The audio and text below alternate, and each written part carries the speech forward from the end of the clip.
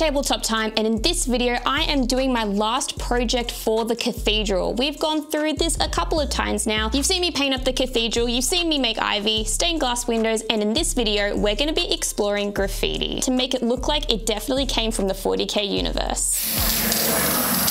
It's tabletop time and in today's video we're gonna do some graffiti. Yeah!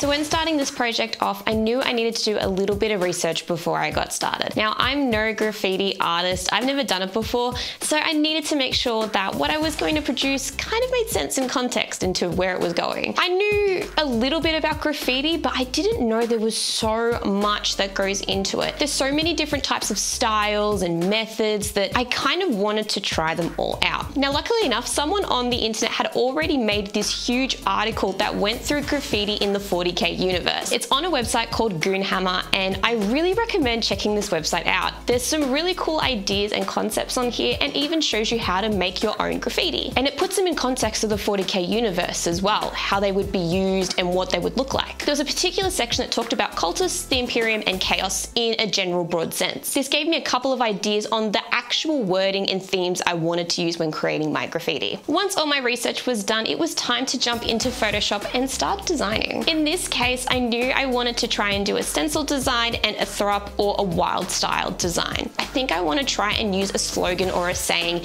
instead of trying to cut out a picture. I thought this would work better considering how small I would need to make the image and words just seemed a bit easier to cut out. I found a couple of sayings that I liked. One of my favorites was the emperor neglects, so I knew I had to put this on there somewhere. I picked a couple of typefaces that I thought would work, printed this out on cardboard, and we will come back to that later. While this isn't graffiti, this is something I really wanted to include in this video and it's making propaganda posters for the terrain. And these are really easy to do in Photoshop, just a couple of filters and some text, and they come out small anyway, so you don't have to worry about any major errors.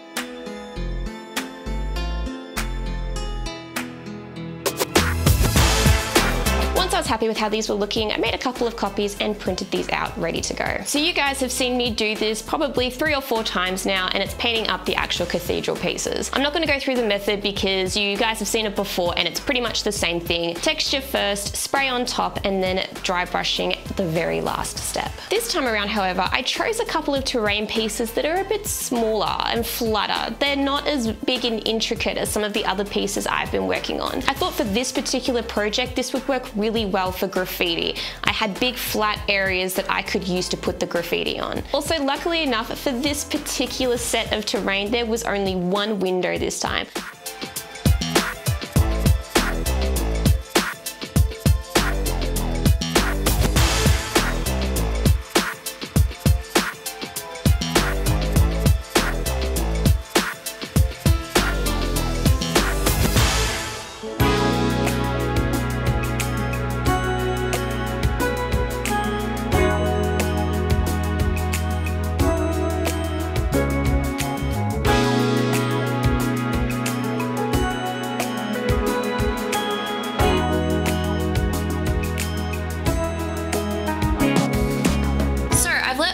My terrain pieces dry overnight and they're looking pretty good. And I think that I'm ready to start actually putting some graffiti on these. So I've got three different methods that I want to try out. One is using stencils, the other is using transfers, and the last is hand painting. So let's go through each method and I'm going to share my thoughts and feelings as we go along.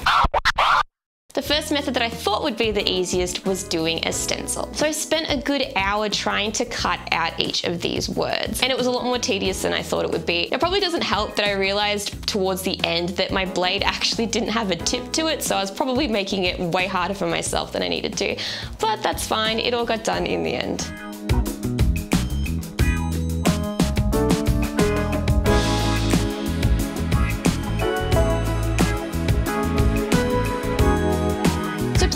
These stencils, I found the areas that I thought they would look the most effective. The Emperor Neglects I put on the side of the cathedral where there was a nice flat area, and the Alpharius Lives I put on the floor of one of the terrain pieces. With the Emperor Neglects one, I wanted to try aerosol spraying this one to see how it would come out. So carefully using masking tape, I made sure to cover most of the areas to ensure there was no spray back. And then I went outside and sprayed this with a red aerosol and waited for it to dry.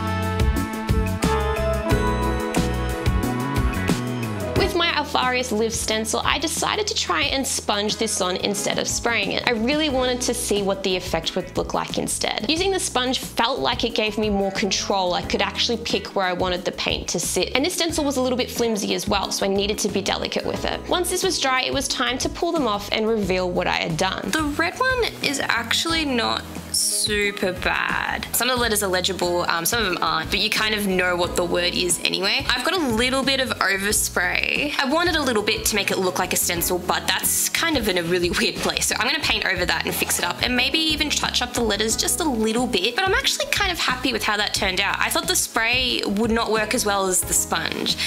And the sponge didn't really work out at all. That just looks like chicken scratch. It's awful. Moving forward and making the actual terrain, I probably will use aerosol cans uh, if I want to make any stencils. So I'm really happy with that. So the next method we're going to use is transfer sheets.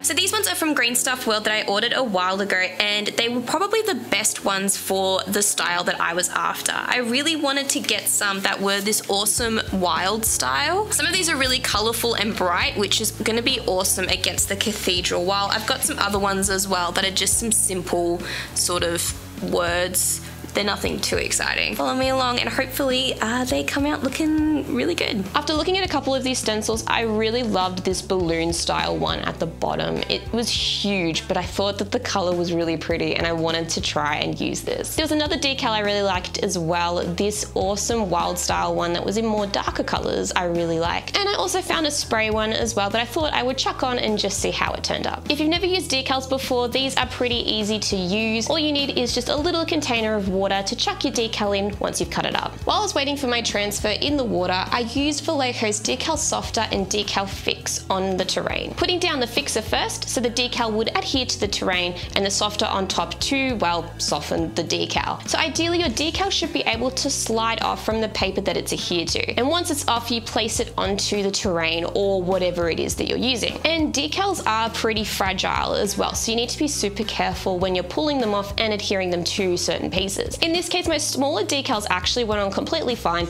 but this large balloon one was a huge pain in the ass. Not only did I need to pull it off of the decal without it wrapping over itself, I needed to adhere it to the terrain so that it would stick there while I tried to get the rest of it on. I also needed to make sure it was sitting on there properly, not overlapping in these really weird places. In hindsight, I would have liked to have put this somewhere else, but because it was so big, this little flat area at the bottom of this terrain was probably the only place it was gonna sit nicely enough. But with all my hard work, it did end up sitting and I was really happy with it. In order for these decals to lay flat and adhere to the terrain, I applied some softer on top and it just left this completely alone. for the first couple of minutes, I was making sure my decals were adhering to the terrain and sitting nicely. I decided to go ahead and start doing my posters. Now these I just printed out on normal computer paper and cut them up into little tiny posters.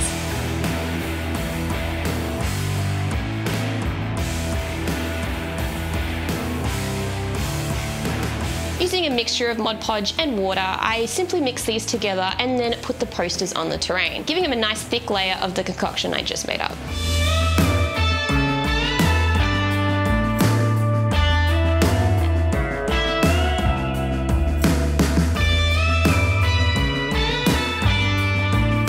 Used a couple of them to try and cover up that Alpharius Lives graffiti. I didn't want to get rid of it completely, but I definitely wanted to try and mask a lot of it up. And in the end, I'm actually really happy with how this turned out. After waiting 24 hours, it was time to go back and have a look at my decals.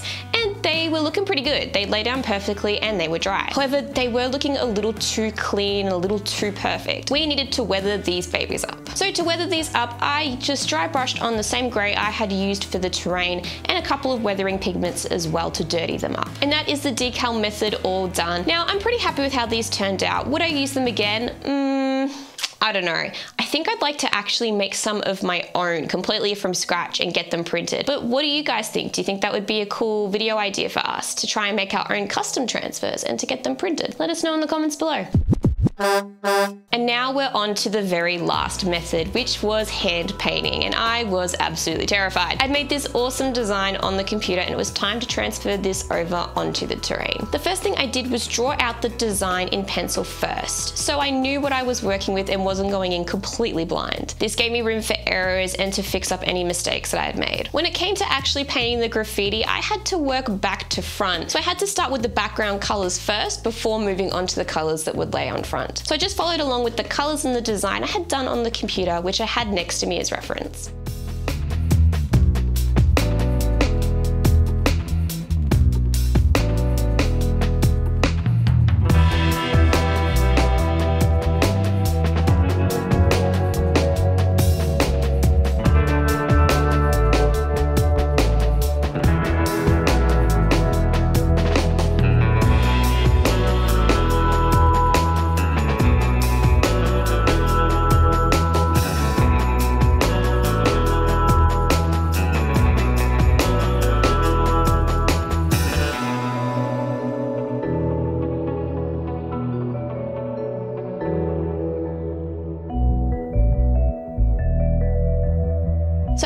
Working back and forth with the different colors and the design, I was really happy with the effort that I put in and this is the final result.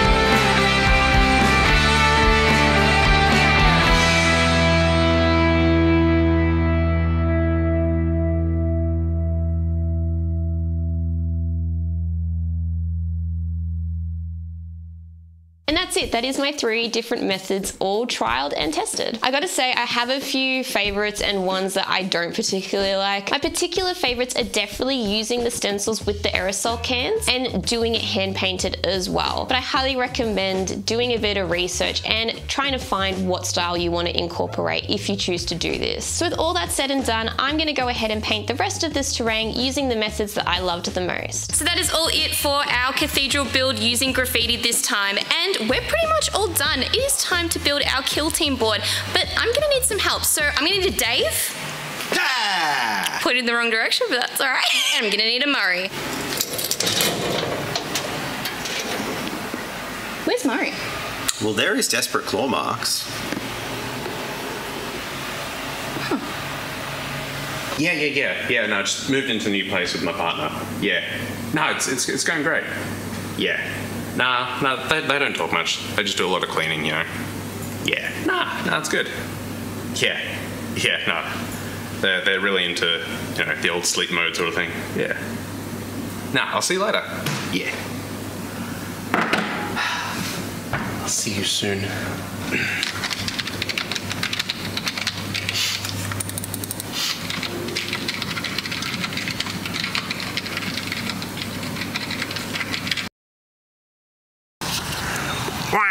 Oh, that's so good. Oh, yeah. Oh, low angle. Yeah. yeah. Yeah. Now spray paint some air while you're doing it. With my dirty. Oh, ready? Yeah. Spray that way. You're spraying in your own face. I know.